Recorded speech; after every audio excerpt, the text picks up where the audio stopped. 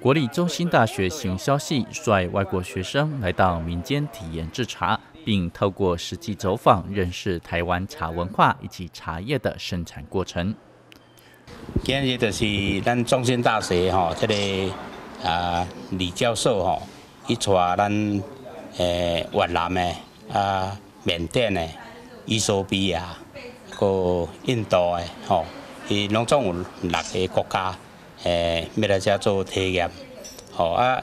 伊今仔日来吼，嘛真正欢迎大家啦吼。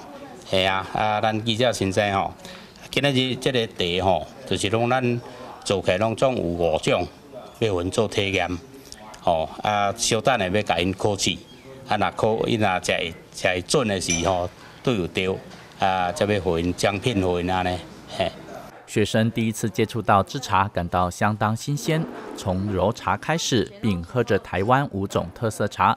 虽然体验的过程不太顺手，但是也让国外学生一起交流不同国家的文化。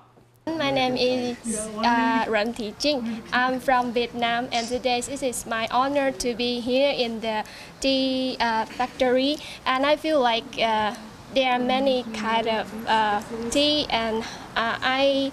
uh, enjoy how to make tea by myself, and I really enjoy uh, today uh, today trip.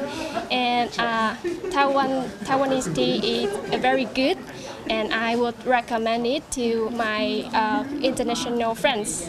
Thank you so much for giving me these opportunities. 看课本上的介绍，不如实际来体验。中兴大学行销系教授李忠儒表示。这次的体验让外国的学生学习台湾传统茶叶的生产过程，并借着体验，让这些学生都可以把这种感觉带回故乡。那一位是越南的同学，他是硕士班二年级来台湾久一点的，那吃过喝过台湾的茶，但是他还是很惊讶，台湾的茶原来做到这么精致哈。那台湾茶在越南很有名，所以他也久闻其名。那今天很高兴可以身临其境啊，享受这样一个飨宴。谢谢。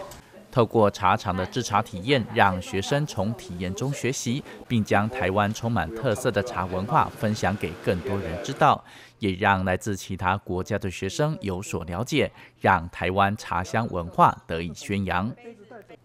记者陈英志，民间乡采访报道。